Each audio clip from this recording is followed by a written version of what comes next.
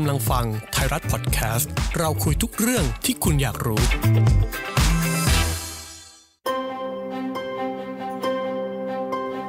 เมื่อสงสัยเราหาคำตอบ เคลียร์คัด ชัดเจน ใน The Answer ไทยรัฐออนไลน์สวัสดีค่ะ มาติดตาม The Answer สัปดาห์นี้ค่ะ เดินทางมาถึงช่วงท้ายปี 2513 กันแล้วนะคะ เหลือเวลาอีกไม่กี่วันค่ะ ก็ต้องเตรียมเขาดาวฉลองปีใหม่ 2514 กันแล้ว หลังตลอดปีที่ผ่านมานะคะ เราต้องเผชิญกับมรสุมอันหนักหน่วงแทบจะทุกเดือนกันเลยทีเดียว โดยมีเจ้าไวรัสร้ายค่ะโควิด -19 เป็นตัวการใหญ่ แต่แทนที่เรานะคะจะได้เฉลิมฉลองอย่างที่ตั้งใจไว้ในตอนแรกนะคะ เพราะคิดว่ายังไงปลายปีนี้ก็ต้องดีขึ้นแน่นอน สุดท้ายค่ะ กลับพลิกกลับหัวหกคเมนตีลังกากันเลยทีเดียว หลังวันอาทิตย์ที่ผ่านมาค่ะ เมื่อวันที่ 20 ธันวาคม ไทยนะคะ พบคลัสเตอร์ใหม่ที่ใหญ่กว่าครั้งสนามมวยเมื่อเดือนมีนาคมซะอีกค่ะ เพียงวันเดียวนะคะ มีผู้ป่วยติดเชื้อโควิด -19 รายใหม่ถึง 576 ราย ที่ทั้งหมดนั้นนะคะ มีความเชื่อมโยงกับตลาดอาหารทะเลในจังหวัดสมุทรสาครค่ะ และจนถึงตอนนี้นะคะ มีการรายงานผู้ป่วยติดเชื้อโควิด -19 สะสมแล้วกว่า 5,910 ราย ล่าสุดข่าววันที่ 25 ธันวาคมนะคะ มีผู้ป่วยติดเชื้อรายใหม่ 81 ราย โดยแบ่งเป็นติดเชื้อภายในประเทศ 37 ราย แรงงานต่างด้าวที่มีการคัดกรองเชิงรุก 35 ราย แล้วก็เดินทางมาจากต่างประเทศ 9 รายค่ะ เมื่อเทียบอัตราการติดเชื้อต่อล้านคนนะคะ ก็อยู่ที่ 70.30 ค่ะ อย่างที่บอกไปนะคะ ผู้ป่วยติดเชื้อโควิด -19 รายใหม่ล้วนมีความเชื่อมโยงกับตลาดอาหารทะเลในจังหวัดสมุทรสาครค่ะ ซึ่งรวมกันแล้วนะคะมีกว่า 1,000 รายทีเดียว แล้วก็กระจายไปจังหวัดรอบๆนะคะ ทั้งกรุงเทพ นครปฐม และก็สมุทรปราการค่ะ บางรายข้ามไปไกลถึงภาคใต้แล้วก็อีสานนะคะ เอาละค่ะ เมื่อแพลนปีใหม่ 2514 แบบจัดใหญ่จัดเต็มอาจต้องล้มไปนะคะ แต่ทางสบคค่ะก็บอกให้ได้อุ่นใจไว้ว่า หากอยากเดินทางไปฉลองข้ามจังหวัดนะคะ ก็ยังไปได้อยู่ค่ะ ขอแค่ระมัดระวังตัวเอง แล้วก็ปฏิบัติตามคำแนะนำโดยเฉพาะนะคะ การสวมหน้ากากนั้นอย่าลืมเด็ดขาดค่ะ แต่สำหรับชาวสมุทรสาครนะคะ คงต้องเบรกไว้ก่อนค่ะ งดออกเดินทางออกนอกพื้นที่ชั่วคราว แล้วก็ขอย้ำอีกครั้งนะคะ ตอนนี้ยังไม่มีการล็อกดาวน์ทั่วประเทศแต่อย่างใดค่ะ และในส่วนจังหวัดสมุทรสาครนั้นนะคะ ก็ถือว่าเจ็บพอสมควรค่ะ เพราะคลัสเตอร์ครั้งนี้ทำให้เสียรายได้ไปไม่น้อยทีเดียวค่ะ และสำหรับคำถามนะคะ ที่มีคนถามว่าเอ๊จังหวัดสมุทรสาครเจ็บแค่ไหน ไปไล่เรียงหาคำตอบกับ Answer กันค่ะ สมุทรสาครนะคะ เป็นจังหวัดเล็กที่เศรษฐกิจใหญ่อันดับ 6 ของประเทศค่ะ คิดดูนะคะว่าเพียงแค่การประกาศพบคลัสเตอร์สมุทรสาครในวันอาทิตย์ ก็ทำให้ SET Index ลดลงถึง 5.4%ค่ะ ปิดตลาดวันจันทร์เมื่อวันที่ 21 ธันวาคม ลดลงกว่า 80 จุด ซึ่งเป็นการลดลงที่รุนแรงที่สุดนับตั้งแต่เดือนมีนาคม 2563 ค่ะ ไม่เว้นแม้แต่บริษัทไทยยูเนียนกรุ๊ปจำกัดนะคะ เป็นหนึ่งในผู้ค้าทูน่ารายใหญ่ที่สุดของโลก ก็ลดลงถึง 8.9%แล้วก็บริษัทเจริญโภคภัณฑ์อาหารจำกัดมหาชนนะคะ ที่ปิดลดลง 6.4%เช่นกัน ก่อนจะดีดกลับมาบวก 0.20 แล้วก็ 0.50 ตามลำดับในวันต่อมาค่ะ ซึ่งหากมีการล็อกดาวน์ขึ้นมาจริง ๆนะคะ ก็มีการประเมินมูลค่าความสูญเสียทางเศรษฐกิจไว้ด้วยนะคะว่า อาจสูงถึง 1,000 ล้านบาทต่อวันทีเดียว แถมยังทำให้ราคาอาหารทะเลดีดเพิ่มขึ้นอีกด้วยค่ะ เพราะเท่าที่สอบถามบรรดาร้านค้าต่างๆนะคะ ก็ได้ยินเสียงบ่นกันพอสมควรแล้วว่า ปลาหมึกกุ้ง อาหารทะเลทั้งหลายนะคะ ล้วนหายากค่ะ แถมที่หาได้นะคะ ก็แอบราคาขึ้นนิดๆด้วย ในส่วนคนที่ไม่กล้ากินนะคะ ก็ขอให้เบาใจค่ะ เพราะว่าคุณหมอออกมายืนยันแล้ว ว่ากินได้เหมือนเดิมค่ะ แต่ต้องปรุงสุกเมนูสดๆนะคะ เลี่ยงได้ควรเลี่ยงค่ะสำหรับจังหวัดสมุทรสาครนะคะ รู้กันไหมคะว่า จังหวัดเล็กๆ ที่มีขนาดพื้นที่ 872.3 ตารางกิโลเมตรนี้ และก็มีประชากรเพียง 584,703 คน แต่มีมูลค่าทางเศรษฐกิจที่ใหญ่อย่างไม่น่าเชื่อค่ะ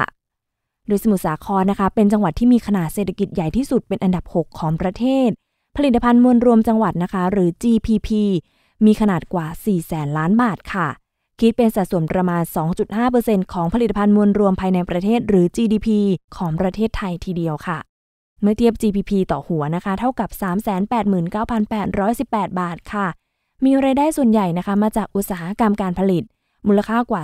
280,000 ล้านบาท อีกทั้งนะคะยังเป็นที่ตั้งโรงงานมากกว่า 6,000 แห่งซึ่งมีเป้าหมายการพัฒนาปี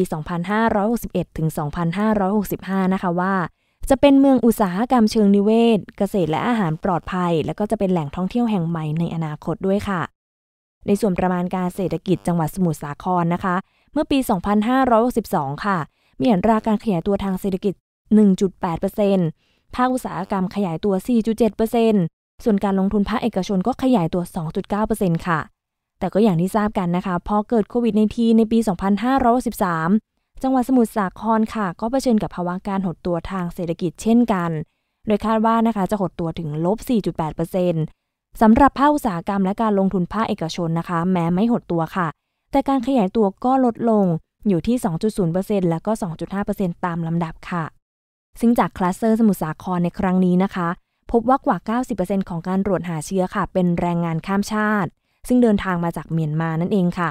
เพราะเป็นกลุ่มที่มีการจ้างงานมากที่สุด แต่การค้นพบคลัสเตอร์นี้นะคะ กลับไม่ได้มาจากกลุ่มแรงงานข้ามชาติค่ะ กลับเป็นแม่ค้าปลาอายุ 67 ปีค่ะ ที่เดินทางไปตรวจที่โรงพยาบาล แล้วก็พบว่าติดเชื้อโควิด -19 เมื่อวันที่ 17 ธันวาคม และล่าสุดค่ะ กระทรวงสาธารณาสุขค่ะก็ได้ออกมายืนยันด้วยว่า สายพันธุ์โควิดในทีนของคลัสเตอร์สมุทรสาครนั้นนะคะ เป็นสายพันธุ์เดียวกับฝั่งทางเมียนมา ที่มีต้นตอมาจากอินเดียค่ะ นั่นก็คือสายพันธุ์ GH ไวรัสโคโรนาสายพันธุ์ GH คืออะไรกันแน่นะคะ หากย้อนกลับไปช่วงเดือนกรกฎาคม 2563 ค่ะ ที่เกาหลีใต้นะคะ ก็เคยมีการถกกันในประเด็นนี้ เพราะพวกเขาค่ะก็พบสายพันธุ์ GH เช่นกันค่ะ ว่ากันว่านะคะแพร่เชื้อได้รวดเร็วกว่าสายพันธุ์อื่น ๆ ถึง 6 เท่า โดยก่อนที่จะกลายพันธุ์มาเป็นสายพันธุ์ GH นั้นนะคะ นับตั้งแต่เดือนมกราคมถึงมีนาคม ที่มีการปรากฏการแพร่ระบาดโควิดในทินครั้งแรกหลายพื้นที่ในเอเชีย รวมถึงที่จีนด้วยนะคะ เพราะว่าเป็นสายพันธุ์ S แล้วก็สายพันธุ์ V ค่ะ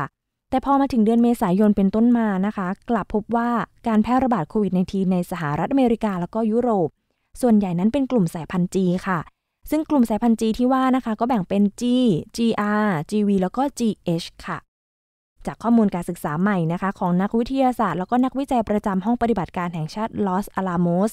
พบว่าค่ะสายพันธุ์ GH ไม่ได้แพร่กระจายเร็วเพียงอย่างเดียว แต่เสี่ยงที่จะทำให้คนกลับมาติดเชื้อซ้ำอีกครั้งได้ด้วยค่ะ ขณะที่แคทเธอรีนเบเนตนะคะศาสตราจารย์ด้านระบาดวิทยาค่ะ ก็มองเจ้าไวรัสสายพันธุ์ GH นี้ว่า การเคลื่อนย้ายของมันนะคะ มีลักษณะคล้ายกับ super spreader ค่ะ ซึ่งหมายความว่าการติดเชื้อเนี่ยนะคะ จะไม่มีการเฉพาะเจาะจงเป็นที่คนใดคนหนึ่งค่ะ แต่จะมาในรูปแบบคลัสเตอร์เหมือนอย่างที่เราเห็นในจังหวัดสมุทรสาครนี้นั่นเองค่ะ และจุดศูนย์กลางของสายพันธุ์ G นั้นอยู่ตรงไหนนะคะ จากฐานข้อมูลการวิเคราะห์ตัวอย่างพันธุกรรมมากกว่า 185,000 ชนิดค่ะ เห็นได้นะคะว่าตัวเลขผู้ป่วยติดเชื้อสะสมของสหรัฐอเมริกาค่ะ ไม่ว่าจะเป็นคลื่นลูกที่ 1 2 และก็ 3 ค่ะ ล้วนเป็นกลุ่มสายพันธุ์จีขณะที่อินเดียเองค่ะ ก็มีรูปแบบที่คล้ายคลึงกันนะคะ โดยการตรวจตัวอย่างการติดเชื้อนับตั้งแต่เดือนมิถุนายนถึงกันยายน มีแนวโน้มสายพันธุ์จีแทบทั้งหมดค่ะ ซึ่งก็สอดคล้องกับทางการไทยนะคะที่มีการบ่งชี้ว่าต้นตอสายพันธุ์ GH นั้นที่กำลังแพร่ในจังหวัดสมุทรสาครมาจากอินเดียค่ะทำไมการกลายพันธุ์ถึงสำคัญนะคะ ว่ากันตามจริงแล้วค่ะ เราเองก็ไม่ควรกังวลกับเรื่องของสายพันธุ์ไวรัสมากนักนะคะ เพราะจนถึงตอนนี้นะคะ ก็ยังไม่มีการยืนยันความอันตรายว่ารุนแรงกว่าสายพันธุ์ก่อนหน้าหรือไม่อย่างไรนะคะ แต่ที่นักวิทยาศาสตร์กังวลค่ะก็คือ การกลายพันธุ์ของไวรัสโคโรนานี้นะคะ อาจมีผลต่อการแพร่เชื้อค่ะ รวมถึงการพัฒนาวัคซีนที่อาจมีผลต่อการสร้างภูมิคุ้มกันค่ะ โดยทั่วโลกตอนนี้นะคะ มีคนเข้าสู่ขั้นตอนการฉีดวัคซีนแล้วมากกว่า 2.1 ล้านคนค่ะ โดยแบ่งเป็นจีน 650,000 คน สหรัฐอเมริกาค่ะ 614,117 คน สหราชอาณาจักรค่ะ 500,000 คน รัสเซีย 320,000 คน แคนาดา 16,929 คน แล้วก็อิสราเอลอีก 10,000 คนค่ะ ซึ่งนอกจากการทำสัญญาซื้อวัคซีนโควิด -19 จากผู้ผลิตทั้งหลายแล้วนะคะ ประเทศต่างๆ ค่ะยังทุ่มงบในการพัฒนาวัคซีนรูปแบบใหม่ ๆ กว่า 30,000 ล้านบาท รวมแล้วนะคะในเวลานี้เนี่ยมีวัคซีนที่เพียงพอต่อประชากร 7,800 ล้านคนทั่วโลกค่ะ หรือคิดคร่าวๆนะคะ ก็ประมาณ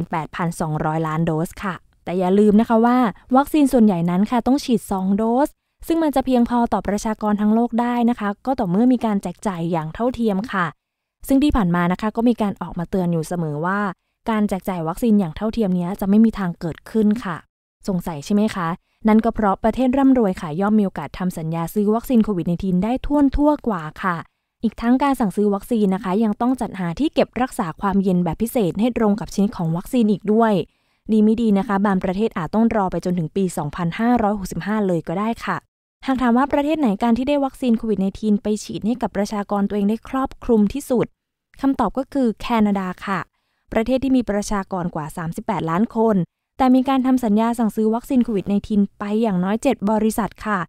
รวมแล้วนะคะ หากได้ครบตามจำนวนจะครอบคลุมประชากรกว่า 190 ล้านคน หรือคิดเป็นมากกว่า 4 เท่าค่ะ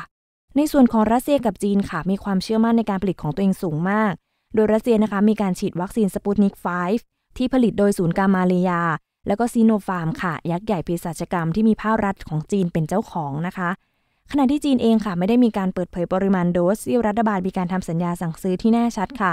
เมื่อเทียบความครอบคลุมเป็นเปอร์เซ็นต์นะคะ แน่นอนว่ามากที่สุดก็คือแคนาดาอย่างที่บอกไป คือ 511%ครอบคลุมประชากรทั้งหมด 192 ล้านคนค่ะ รองลงมาก็คือสหราชอาณาจักรนะคะ 295%ครอบคลุมประชากรกว่า 197 ล้านคน และอันดับ 3 ก็คือออสเตรเลียค่ะ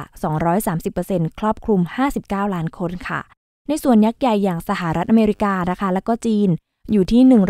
154%แล้วก็ 16%ตามลำดับค่ะ